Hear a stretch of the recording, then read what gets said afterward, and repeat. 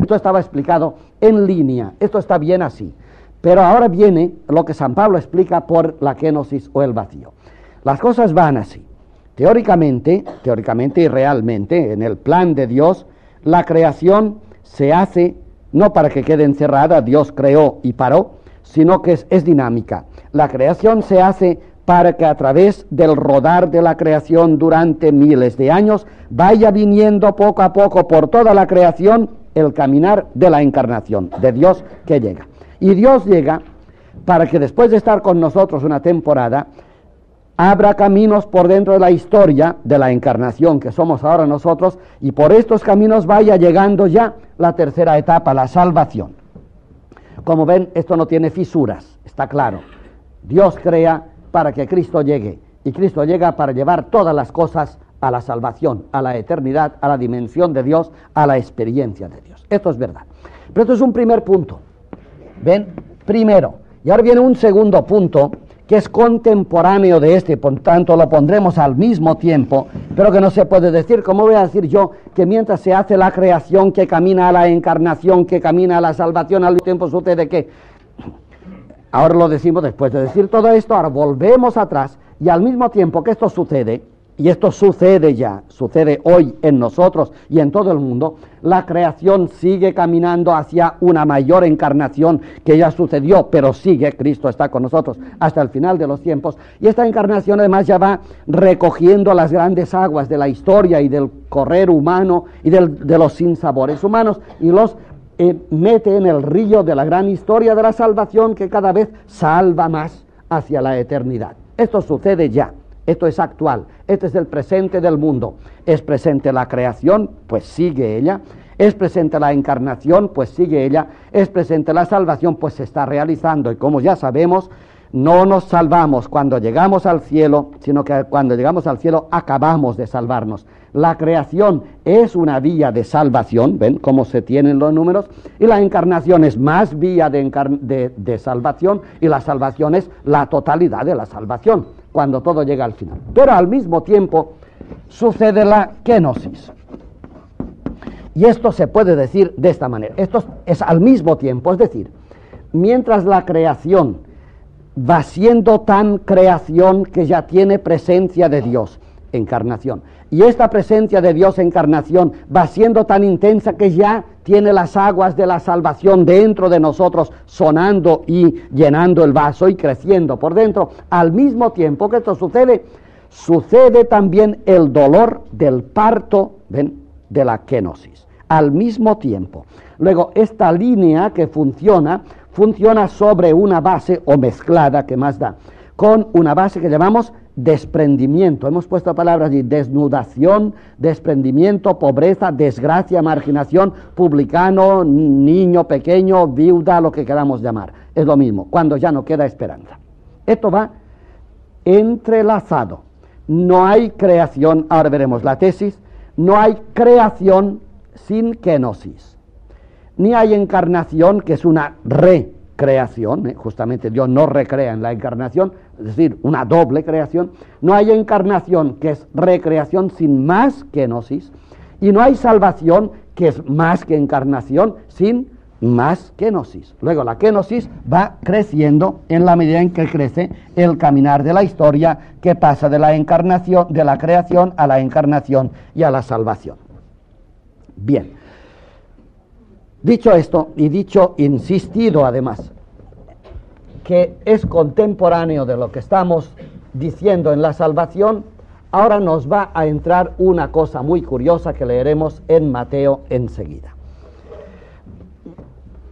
Quizá antes de entrar en Mateo nos conviene recordar que estas palabras que están aquí se refieren todas a la kenosis, pero que esta kenosis es el lugar indispensable para el primer número. ¿eh? El número uno se hace enlazado, eh, anillado con la kenosis, y la kenosis con ello, pero siendo la kenosis condición sine qua non. Es decir, sin vaciamiento, sin ya no queda esperanza, la creación no crece a la encarnación, ni la encarnación crece hacia la salvación la condición del crecimiento es Pues la, la marginación. Digo que si antes de leer a San Mateo lo queremos mm, forzar más, tendríamos que decir que esta línea que hemos pintado aquí, 1, 2 y 3, ¿eh?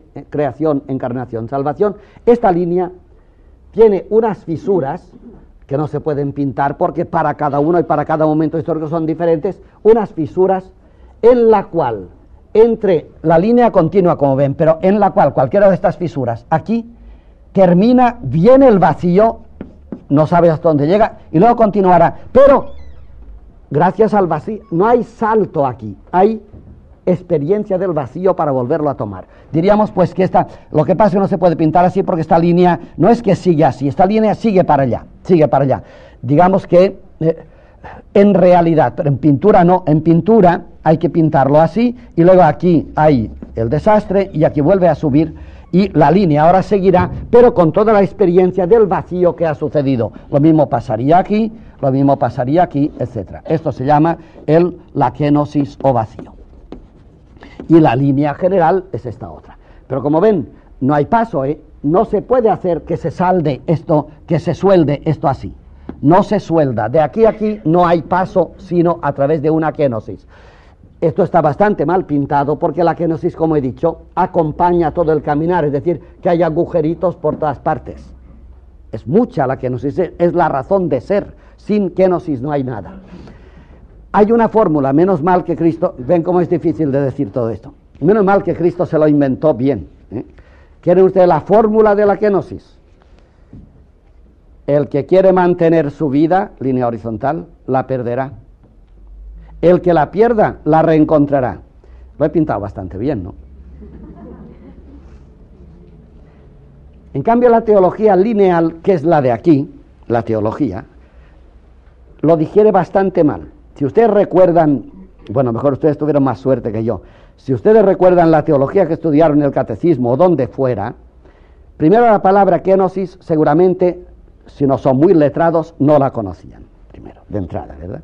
Y acabo de decir que es esencial en el desarrollo. Con lo cual les estoy diciendo que una nota esencial en el desarrollo ustedes no la sabían. Allá. Ni yo tampoco. Hala. Qué curioso, ¿verdad? La teología de aquí, la teología racional, no sabe explicar ni sabe cómo meter en su paradigma la kenosis. Y por esto la teología de la gloria, que se llama, no es de la gloria del cielo, es la teología gloriosa, teología de la gloria, no habla de kenosis. El primero que habló con energía fue San Justino en el siglo II, luego ya se cayó, y hasta que vino Lutero en el XVI, no se volvió a hablar del tema de la teología de la cruz. Hay un libro monumental que si no han leído pueden leer porque les va a gustar. Es difícil, pero se puede leer. Y es de Jürgen Moltmann, el Dios crucificado. Moltmann es catedrático en Tubinga, es protestante. Los católicos hemos hecho durante siglos la teología de la gloria, es decir, una teología filosófica coherente. Digamos, la línea. La línea es nuestra. Y los protestantes han hecho los agujeros. Es como el buen queso, ¿verdad? Sí, pero los agujeros solos saben poco en un buen queso. Los, y los agujeros son de Lutero casi todo. Lutero vio certero, era un gran teólogo Lutero, ¿eh? y como agustinista y agustino que era, sabía la gran verdad.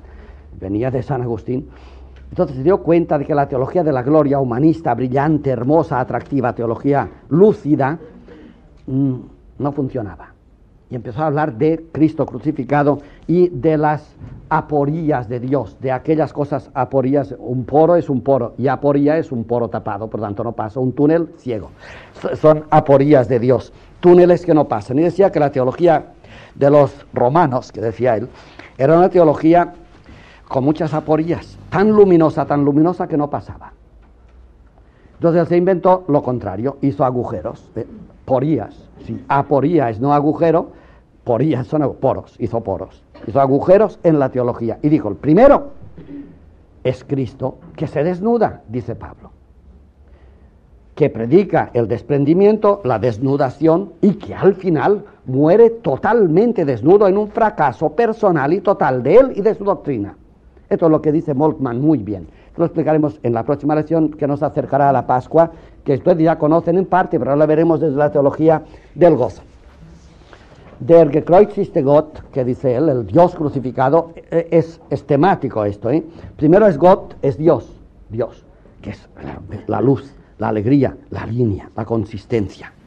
Y este Gott es gekreuzigt, es crucificado. ¿Ven la, la, el desprendimiento ahora, la pobreza? Pues el cristianismo es un Dios, centelleo de luz total, pero clavado en una cruz. No es Dios solo, como dicen los católicos, no es dolor solo, como dirían ciertos protestantes exagerados, que los hubo, sino que es dolor en Dios, Dios sufriendo. El dolor de Dios. Hoy en día ya hay obras que se dicen así y las volveremos a ver por lo menos de paso. El dolor de Dios. ¿Es que Dios puede sufrir? La respuesta es muy fácil. El de los teólogos no, el de los místicos sí. Usted verá con quién se queda. Ya lo digo adrede porque esta lección es la que, es, la que despierta siempre al final. Usted ha dicho que Dios puede sufrir. Ya está. Así ya, ya he evitado el diálogo, ¿verdad? Sí, he dicho que Dios puede sufrir. El Dios de los teólogos no. El Dios de los místicos sí. Pero usted no sabe que Dios es inconmovible y no sufre. Y usted no sabe que Cristo, soy yo que hablo, ¿eh? y usted no sabe que Cristo sufrió. Sí. Pues entonces una de dos. Para usted, o Cristo no es Dios o no sufrió. Porque si Cristo sufrió, es un Dios que sufre, ¿o no? ¿Ah? A menos que digas que, como decía San Cirilo, que Cristo es un farsante y hace ver que sufre, pero no sufre. Entonces, entonces Dios no sufre, tú verás. Si Cristo es un farsante, ya, ya está explicado. Ahora, si Cristo es un hombre que sufre como nosotros y además admites que es Dios como admitimos, entonces el título de Moltmann es magistral, es programático. Dios que sufre, Dios crucificado. Y como Dios vive en Cristo, he aquí que Cristo es un Dios crucificado, y como Cristo es el modelo de todo cristiano, he aquí que el cristiano avanza por la línea de Dios en la medida en que crucifica cosas. El que quiere mantener su vida, la perderá. El que la pierde, la reencontrará. Otra, también de Cristo. Si el grano de trigo no cae en tierra y muere, kenosis, no da fruto. Si muere, kenosis, da mucho fruto. Entonces, la vida de la sementera de qué depende? De que el grano en el surco y en la humedad se descomponga y dé pues, vida a la primera brisna y después a la, a la espiga al final.